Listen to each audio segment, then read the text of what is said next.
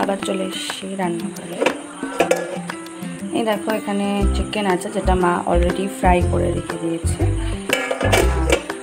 এটা হলো তার তেলটা যেটা চিকেন ফ্রাই করা হয়েছিল, এটার মধ্যেই আমি এখন রান্না শুরু করব।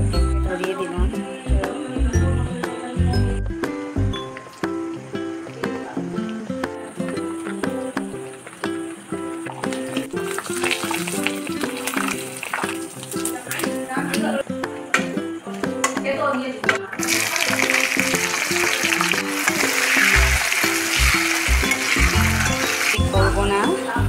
পেস্ট আছে এর মধ্যে।